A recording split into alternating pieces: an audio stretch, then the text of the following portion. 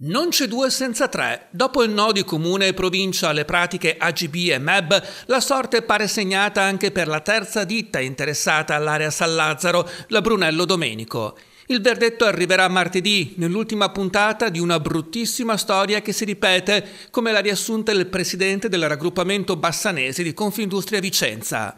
L'ennesima vittoria del sistema anti-impresa che vede nella burocrazia il più forte dei suoi alleati, così l'ha definita Alessandro Bordignon, che osserva, dopo mesi di confronto su ambiente, lavoro e sostenibilità, un progetto promosso nel merito anche dalla soprintendenza rischia di andare all'aria per questioni di carte. Capisco la frustrazione ovviamente degli imprenditori ma anche dei cittadini che a volte si trovano a fare richieste che eh, le cui tempistiche di evasione magari sono, sono anche lunghe.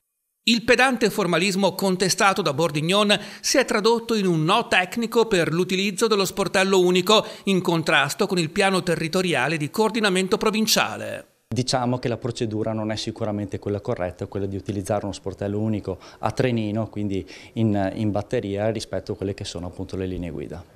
Se le imprese vorranno portare avanti la loro proposta, dovranno seguire un percorso molto più lungo, incompatibile con le scadenze di deroga previste dal Tribunale, sottolinea Bordignon. Quando poi le aziende e il lavoro scappano, conclude il presidente degli industriali bassanesi, inutile piangere sul latte versato.